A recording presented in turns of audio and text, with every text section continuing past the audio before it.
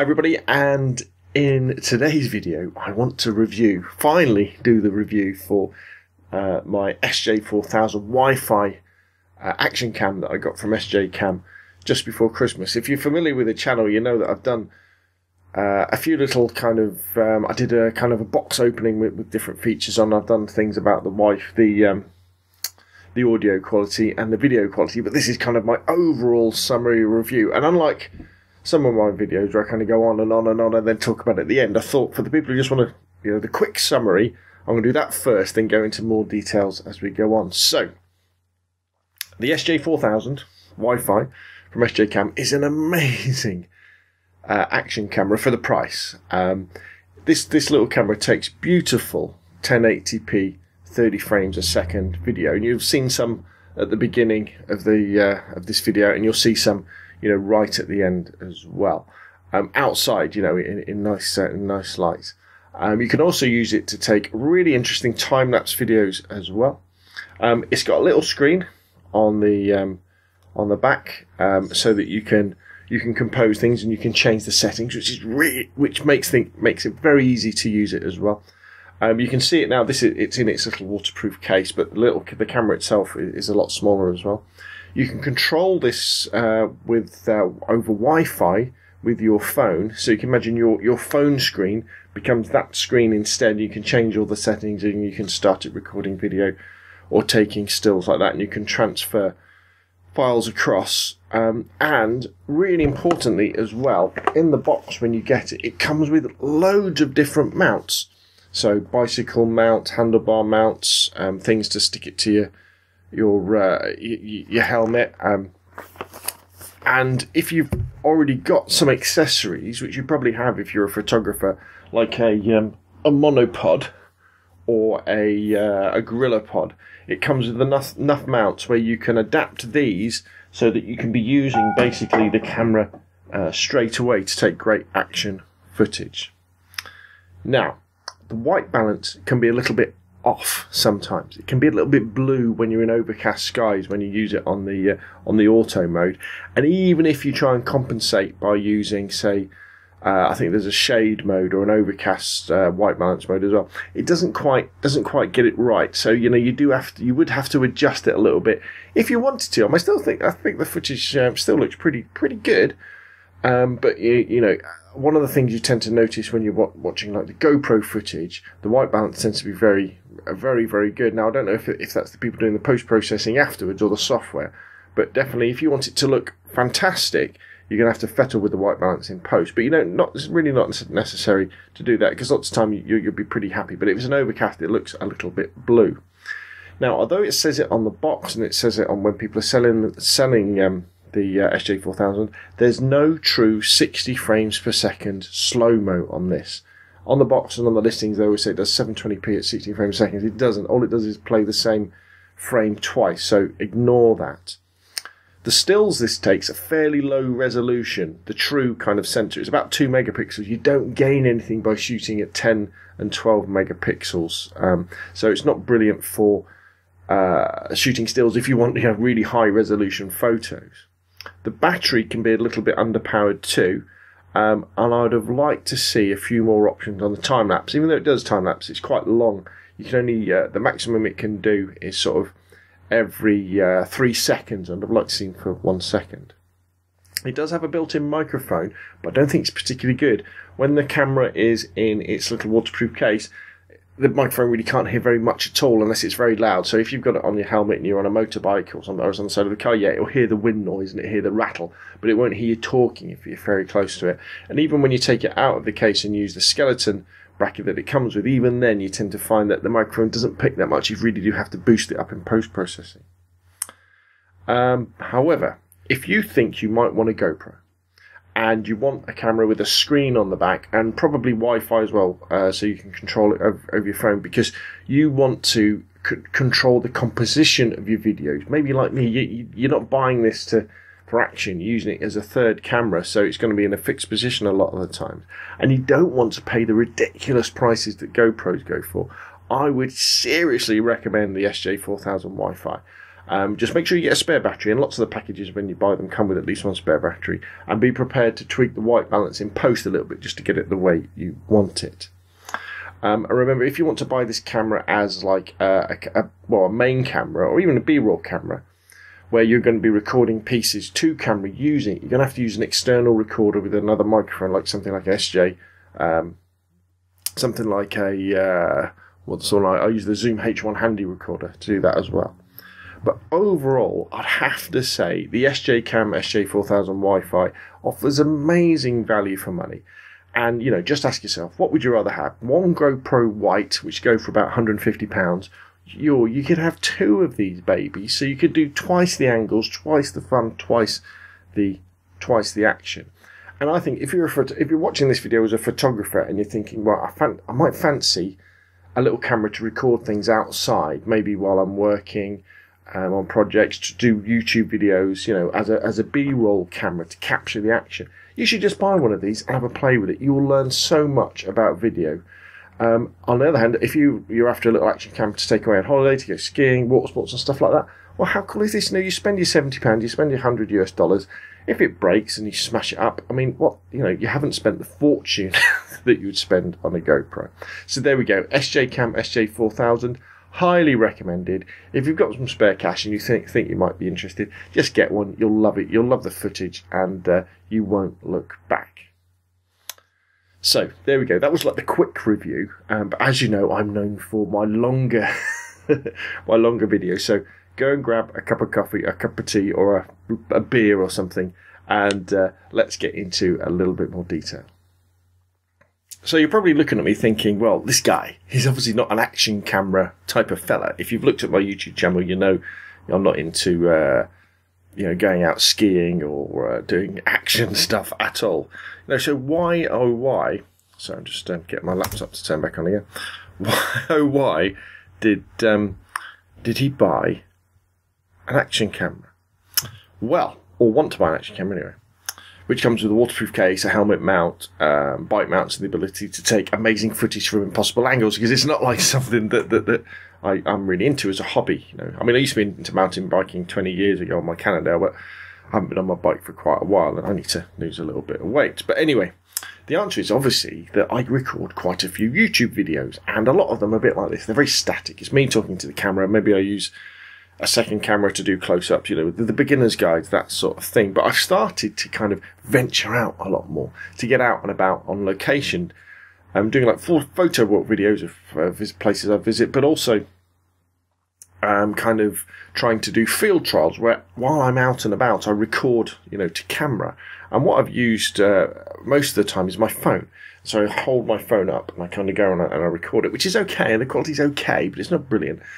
And uh, the format of a phone makes it quite difficult to mount somewhere. So if I want to put the camera you know, on a tree so I can stand in front of the tree and then do a piece to camera or walk past, you know, doing action shots, that kind of thing. Can't really do that with my phone. I'd need to have someone else or some sort of fancy tripod bracket, and I've tried a few, but they all tend to squeeze the phone, and I don't like that. Um, it's almost like it's going to break it. Or you know, I'll drop the phone, it'll go in the mud, and I'll be like, ugh. So I thought, right, what I need, what I need, is a GoPro. Um, and so you know, just before Christmas, I started to um, look at, at, GoPros really, looking at, and it was kind of the time when they were advertising the change between the threes and the fours. And so there was some there were some interesting deals deals actually on GoPros where you could get GoPro 3 Silver for just under £200, and the GoPro 3 White is was and is about £150 in the UK. And I was thinking, oh, I really kind of fancied it. I thought, yeah, yeah, you know, I'll make make loads of use of it, um, even though that's an awful lot of money, and I would normally not, not spend that much. But you know, it was for Christmas and that sort of stuff. But anyway, I was looking on Amazon, and they had a, a, one of their lightning deals for Christmas on a camera very similar to the SJ4000 and uh, I remember staying up. I think it started off at eleven o'clock at night or something, and I was going right, okay. I, I think it, normally it was like sixty five pounds. I think, and it was, and they don't tell you what it's going to go down to. And when the offer came on, it went down to something like forty five pounds or fifty pounds, something like that. I thought, right, I'll pull the trigger. By the time I went to buy it, they'd run out. And I thought, oh, great. But what that made me do was research some of these other non GoPro action cams that look like GoPros to see what the video quality was like. And the consensus, if you like, on YouTube and lots of review, review sites was the SJ4000 was a useful piece of kit. And the proof is in the pudding. So I looked at lots of YouTube videos that were taken by you know, average Joes and Janes using the SJ4000. I thought the video, video footage was great. I thought it looked really good.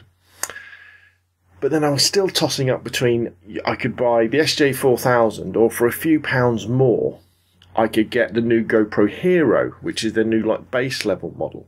But the problem was the new GoPro Hero um, doesn't have a screen on the back, doesn't have any Wi-Fi, so it can't talk to your phone. Doesn't come with any brackets apart from the basic sticky-on ones, and it's a little bit more expensive. And I thought, and I thought, well, the fact that the SJ4000 Wi-Fi comes with the screen for composition because I need that, and you can control it by your phone so that I can, you know, line things up when I'm going to do a video, so my head isn't in the wrong place or anything. Um, and the fact that it came with all the brackets, it's a bit of a no-brainer, really. So you know, I pulled the trigger. I paid my my seventy pounds for um, for the, the for the camera with an extra battery, and it came just before Christmas, and I've been using it ever since. And I have to say, I'm really pleased with it. As I mentioned in the quick review at the beginning, if you want to do pieces to camera like this, you can't just do it with the SJ4000 Wi-Fi because the microphone isn't good enough. And to be honest, you wouldn't want to use it inside without some serious white balance adjustments. Um, but if you're recording outside, the footage is great. But again, you'd have to use like a microphone with a with a um, Zoom H1 handy recorder or something like that. We're recording it all separately, and then you and then you sync it up in post. So as you can sort of get uh, listen from the video, you know that you know I'm really pleased with that. So why don't we take a closer look at the SJ4000 to give you an idea of kind of what you what it looks like and, and what you're getting for your money. Okay, so let's have a take a closer look at the SJ4000 uh, Wi-Fi. So as you can see it here, it's actually in its little waterproof case. So let's have a look at that first.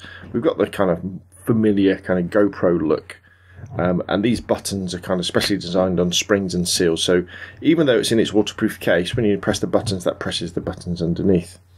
We've got the GoPro compatible mount.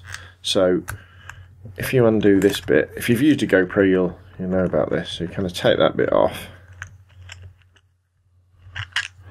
and take that off, and that that that kind of uh, fitting there and on these mounts is the same as the GoPro one. So although any cases won't fit because physically the camera's different, the actual way that it mounts to accessories is exactly the same. So you can use any official uh, GoPro stuff. What I have noticed, obviously, this stuff is built to a budget, and so one of the things you might well you might find is that things like the way that these go together, they have a tendency to slip when they're out first out of the box. But a little bit of sandpaper just to key the surfaces just to rough them up a tiny little bit makes everything uh, grip very well. So we've got the the cap the uh, the lens on the front of this waterproof case. We've got the mount, and then as you can see, if I turn the camera on by pressing that button there, you'll see the little screen pop to life. Now, although, fact, I think I've just turned it off because it was on before. Here it comes. Right, there's the screen. Now, you might think, oh my God, it's the size of a postage stamp. It's tiny, which is true. It is a very small screen indeed, but it does give you enough to be able to compose your images. And if the camera's in a situation where you can't see the screen, you can turn the Wi-Fi on and do exactly the same thing using your phone. So that's the outside of the camera. So to get into it, you kind of flick this latch across here, pop that bit up, that flicks over like so, and then we can drop the camera out. So let's just put that to one side. And you can see how tiny the camera is. I mean, it's, did isn't it's like the size of a box of waxes. So we've got our um, power button on the front, and then we've got our mode button. So basically, between these two buttons, you can um, you control the camera, and then on the side we've got a couple of up and down buttons. One which doubles on turning on the Wi-Fi on, and basically that's how you can navigate through all the uh, the menus and, and change the settings. Nice, really wide angle lens, um, and then on this side we've got our is that a micro SD? I think they're micro SD, aren't they, or mini SD? Micro SD, little slot, little 32 gigabyte one. I just pop in there, and then we've got our um, little HDMI port if you wanted to plug it straight into a television, and then on there we've got our little mini or micro USB. I never know which one it is, but they're on there. And on the bottom we've got the little slot for the battery. Now, little this is my first little tip actually for the SJ Cam. In order to get the battery out, you have to flick this little lever here. Unfortunately, though, it's really good at kind of being tricky to get out. But there is a flap that you have underneath the battery to help you pull it out. If, when you're putting this uh, cover back in, you leave the flap out, when you come to take the battery out, it makes things an awful lot easier because you can use that flap to pull this cover off as well. So as you can see, the SJ Cam SJ4000 is Wi-Fi, is incredibly small, um, beautifully made. Um, build quality is, you know, fine, no problems with it at all, apart from the difficulty of getting that cover off the bottom. And um, some people may say, well, that the the, um, buttons can be a little bit stiff on the waterproof cases. Well, you know that is true, but all you need to get is a little bit of um, of uh, oh, what is it? Not lithium. Is it lithium grease? Not lithium grease. The silicon grease, and just dab a tiny little bit on each one of these. Not normal grease or WD-40 or anything like that that will attack the seals. Um, and that, but I find them. I mean, yeah, they are stiff, but but it's a waterproof case, isn't it? So there we go. That's a closer look at the SJ 4000 Wi-Fi. So as far as video quality goes, you've seen the clips at the beginning of the video, and I'll play some more right at the end as well. Um, and I've done some comparisons, even with my Canon 600D DSLR, the, the, the T3i that I use for, for most of my to camera videos you see on YouTube. And I've got to say, the SJ4000 stands up very, very strongly indeed. Um, the colours are punchy, if a little blue. Um, they're crisp, they're sharp. The advantages of having this super wide angle lens, which captures an amazing view, but also where everything is in focus, means that you don't have the problems of things being out of focus like you do with the DSLR. Um, and it's nice and light and the 30 frames per second 1080p video is is is really good.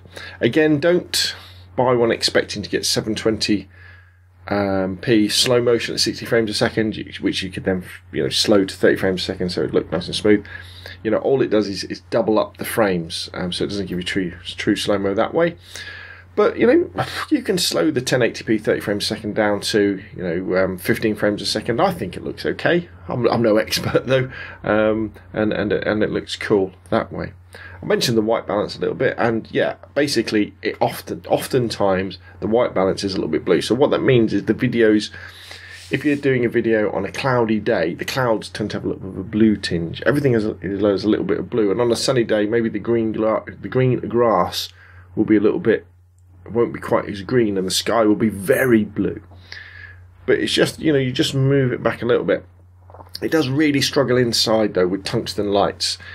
Um, on the video quality uh, test video I've done um, a few videos back on the YouTube stream, you'll see that you can bring it back uh, a uh, quite a way, but there is a limit. You know, I couldn't make the video from the um, uh, SJ Cam 4000 look like this video, for example. And this video probably might even look a little bit blue because of the way that I'm using uh, halogen lights here and there's tungsten lights behind me so I have to change the white balance quite a lot um, with the custom white balance in camera and then uh, tweak it a little bit in in uh, Premiere Pro, and I, I, never really get it right. Always looks a little bit odd, but I couldn't get it this good using the SJ Cam 4000 under those conditions. If you had white balance, uh, sorry, daylight balance bulbs and lights, it'd probably be fine. Um, but I wouldn't buy one as an inside camera, but I would definitely buy one um, as a B-roll camera to, to do shots outside as well. Um, editing the footage as well is easy peasy. It's a proper um, file you get, not like the compressed AVI formats you get with some other cameras um, you know, little little um, DV cameras and stuff like that. Um, and very very easy to edit. Premiere Pro loves it. Windows Movie Maker loves it as well. Sound quality again. A little bit rubbish. Um, I've done a done a video about this um, already on YouTube, and basically, uh, when it's in its waterproof case, it can't really hear anything apart from very loud wind noises or things that are tapping directly onto the camera. You know, if you're talking into it, it's not going to hear anything. Um, you have to use the skeleton case that it comes with, which is that case there, which which obviously isn't the waterproof case, and then the internal microphone does pick up stuff, but things like your voice, even when the camera is quite close, is still still pretty quiet. So you need to boost it up quite a lot in post, but that means you get lots of noise. So the best thing to do is if you're going to use it like that, is to use a separate recorder, like a Zoom, handy Zoom uh, H1, and maybe with a lav mic or just with a built-in mics, like I do for my YouTube videos and then sync that up in post processing in Windows Movie Maker or Premiere Pro, whatever you use. It's very easy to do once you get a bit of practice. And in fact, programs like Premiere Pro can do it virtually automatically uh, for you that way. But just bear that in mind because if you if you're doing pieces to camera outside, like I've done some pieces to camera um, in my car outside and actually proper on top of like a hill and things like that, it does mean you've got to have like the SJ4000, you know, on a GorillaPod mounted somewhere, and then you've got your lav mic with your Zoom H1. So it does make the setup more complicated than just picking up your phone, pressing record, and talking into it. But the quality you get out of it is much, much better, and it's much, much more versatile because you can be moving around, um, you know, as you would with a proper camera on a tripod. The stills quality, mm, okay. I mean, its native resolution is, is I think it's about two megapixels. Um, although you know you can change it to twelve megapixels, but you don't get any more detail by going out that way. So it, it takes nice enough photos for the web, um, and and I guess if you wanted to print them out very very small, um, they suffer from the same white balance problems. Um, but they're okay, you know. But you wouldn't, I wouldn't buy this one uh, for for a stills camera. Now, what it's really good at, I think, which is surprising, which was something I thought would be interesting, was um, time lapse. Because you can set it up on a GorillaPod or a tripod or, or, or some sort of mount, and it will take a picture basically every three seconds or five seconds or ten seconds until the battery runs out. So, you know, to make eight seconds of video, you've got to basically set it up for, and run for ten minutes, which eight seconds of a time lapse of one subject is is quite long enough, I think, and before you go on to something else, so you can kind of set it up in front of an interesting subject with the sky move, you know, with the wind blowing, so clouds are moving across. Sit down there, have a cup of tea. If you're a smoker, have a cigarette. Give it ten minutes, stop, you know, and you've got your your time lapse.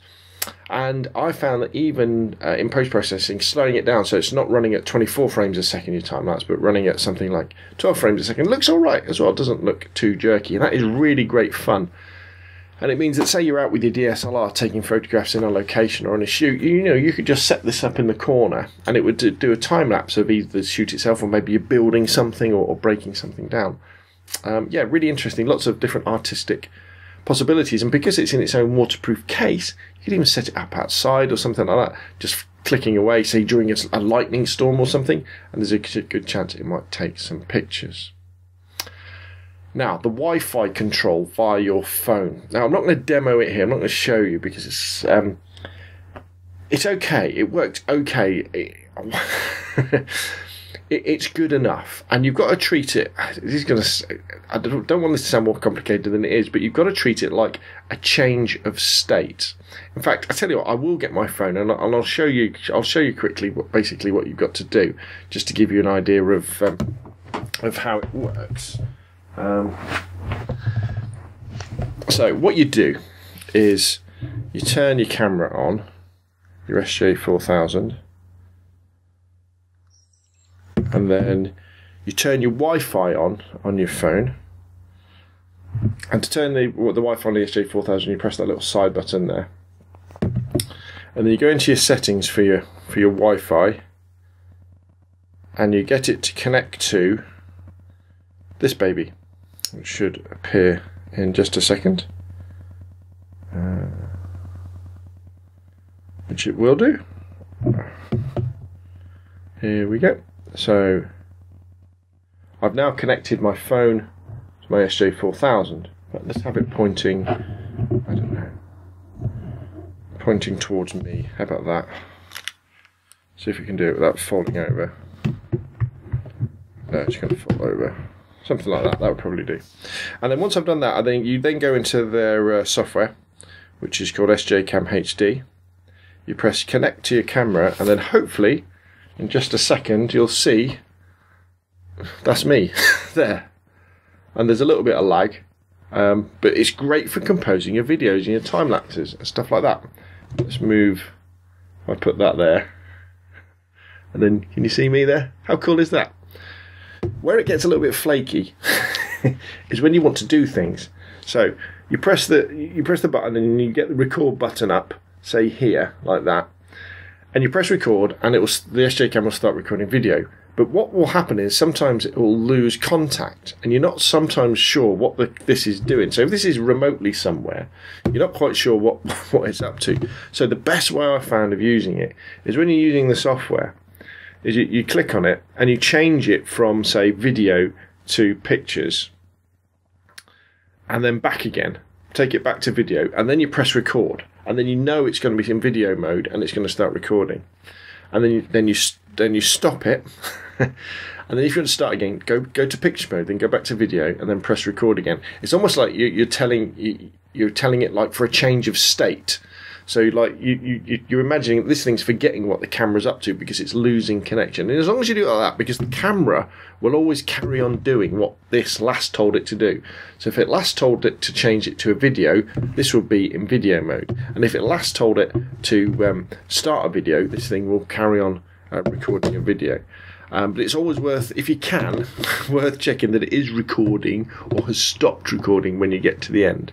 But the fact that you can, you, you know, you can put this on a GorillaPod in a, up in a tree or something like that. Control, see, it's dropped the Wi-Fi connection now. Um, it's picked up again now. You can set this up in a tree and set the composition on your phone, and then even turn the Wi-Fi off and start it recording the normal way is such a boon. So brilliant, saves so much time and makes your videos, you know, look so much better. Now, the SJ Cam, um, SJ4000 Wi-Fi can do quite a few other things as well.